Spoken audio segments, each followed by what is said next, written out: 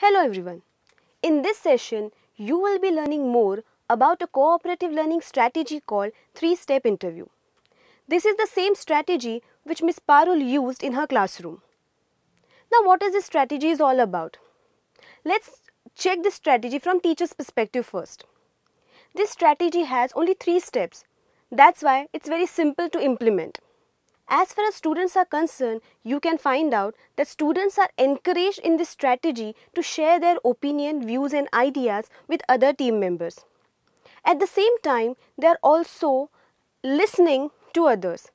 Apart from this uh, benefit, in this strategy, students learn basic three skills. First is skill of questioning, second, skill of listening and third, the skill of time management. Now these three skills are very essential for anyone to learn in their life.